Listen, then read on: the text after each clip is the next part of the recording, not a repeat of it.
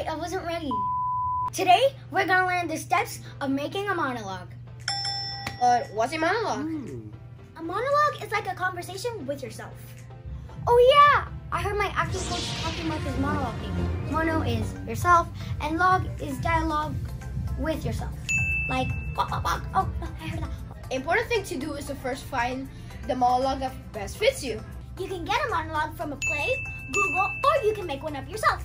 A monologue will extend no longer than two or three minutes. Two to three minutes is enough time to portray all your emotions. um, don't do this. Don't push your emotions if you can't do it. If you can't cry, then try to be as sad as possible. Don't fake it.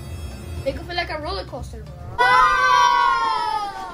Not that type of roller coaster. A roller coaster of emotions.